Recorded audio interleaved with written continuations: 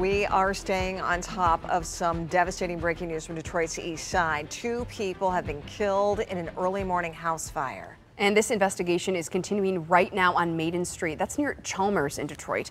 7 Action News reporter Kiara Hay is live on the scene for us. Kiara, you just talked to the fire chief moments ago. Bring us up to speed. What are you learning?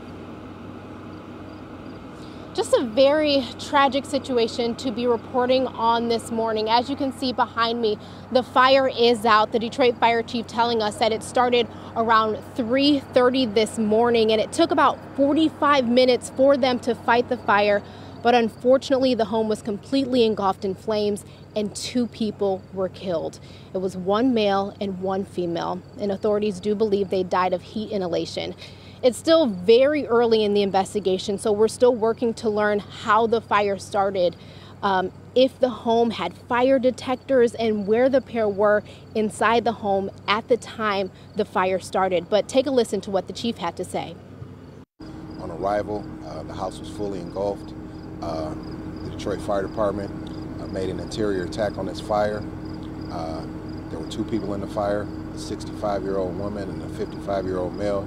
Unfortunately, they didn't make it.